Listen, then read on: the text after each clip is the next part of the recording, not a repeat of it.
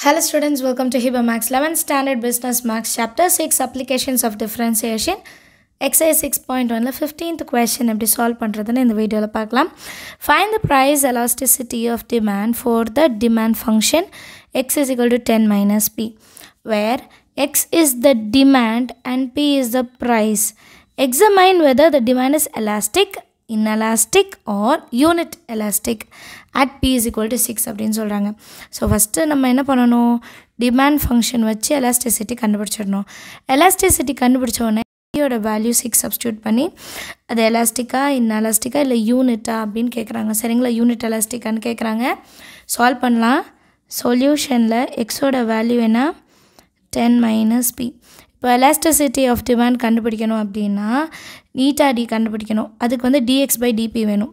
So differentiating x with respect to P so dx by dp இப்போ இதை differentiate பண்ணால் B பக்கத்தில் இல்லை ஸோ ஜீரோ மைனஸ் பி மட்டும் இருக்குது அப்போ பி முன்னாடி ஒன் இருக்குன்னு அர்த்தம். அப்போ minus one which is equal to minus one இப்போ எலாஸ்டிசிட்டி ஆஃப் டிமாண்ட் என்னன்னு கண்டுபிடிச்சலாம் elasticity of demand eta d is equal to minus p by x dx by dp which is equal to minus p by x oda value 10 minus p into dx by dp oda value minus 1 so minus into minus plus p 10 minus p.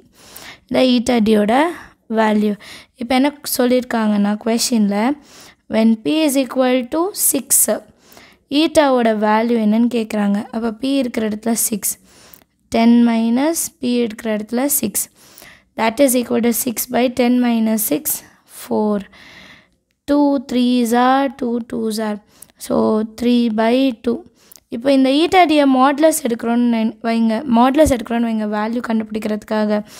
Three by two modulus எடுத்தோன்னா minus இல்லை plus தான் இருக்குது so three by two தான் கிடைக்கும். That is greater than one ஏன்னா three divided by two பண்ணும்போது one point five கிடைக்கும். So one point five வந்து ஒன்றை விட ஜாஸ்தி அண்ட் பாசிட்டிவும் கூட.